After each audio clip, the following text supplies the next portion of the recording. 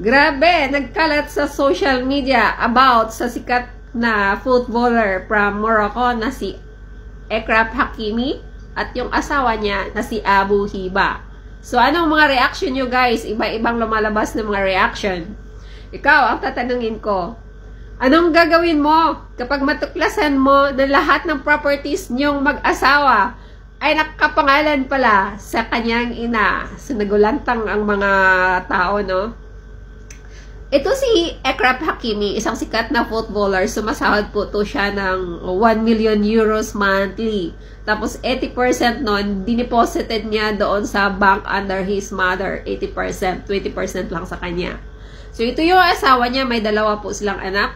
Siya isang sikat na uh, actress model from Spain. May dalawa silang anak, nag-asawa sila noong year 2018. Now ngayon nagkalabuan na sila. At itong si Abu Hiba, nag-filed ng divorce sa korte. At nagdemanded siya ng uh, half-half properties from his asawa, from his husband.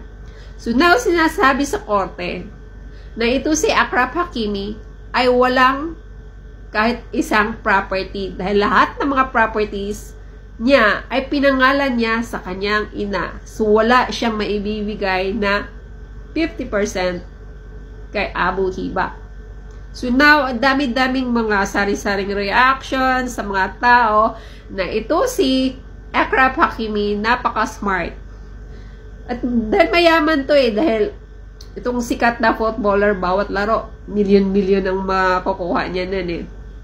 So, yun, nagulantang ang buong mundo na ito daw si Akrap Hakimi is napaka-smart parang the record sa buong mundo ang ganitong nangyayari. Sa reaction ko naman, for sure, ito si Akrap Hakimi, meron tong mga lawyers before siya nag-asawa or ano, sinabihan siguro siya na i-protektahan niya yung kanyang mga assets, properties, kasi hindi naman natin alam kung anong mangyayari in the future. Meron din naman kasing mga iba na humahabol lang ng kayamanan. So, ang ginagawa ni Akrap Hakimi noon pa, bago pa lang sila nag-asawa, matagal na daw itong ginagawa na lahat ng properties niya ay pinangalan niya doon sa nanay niya. So, imagine, talagang hindi alam ng kanyang asawa. Grabe, no?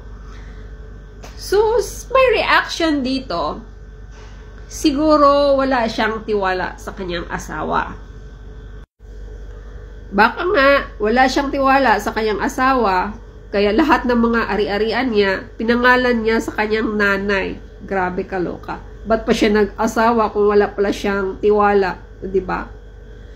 Kasi guys, may tinatawag na conjugal property kapag mag-asawa kayo, 'di ba? At kapag magka-problema tulad ng divorce, maghati kayo ng ari-arian.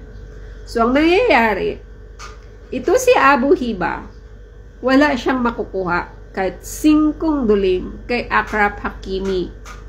Dahil lahat ng mga ari-arian ni Akrap Hakimi, pinangalan niya sa kanyang ina na si Fatima. Ito yung nanay niya. Lahat ng alahas niya, sasakyan niya, bahay niya, pinangalan niya sa kanyang ina at sumasahod ito ng 1 million euros monthly from PSG. Dineposited niya sa pangalan ng kanyang ina 80%. 20% lang sa kanya. So, konti lang yung pera niya. So, wala talaga siyang uh, maibibigay kay uh, Abu Hiba. So, nakaligtas siya sa obligasyon ng kanyang asawa. Grabe na napaka-smart niya, guys. Grabe napaka-smart niya.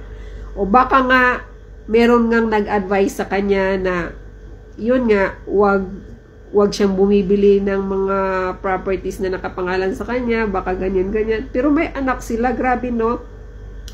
So, iyon ang nangyari kay uh, Abu Hiba. Wala siyang makukuha na kahit singkong duling sa kanyang uh, asawa dahil lahat ng properties ng kanyang asawa, pinangalan niya sa kanyang ina.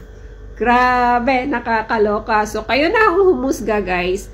Sana meron tayong natutunan sa video na to. At kung meron man kayong mga comment, please comment down below. Thank you for watching. God bless.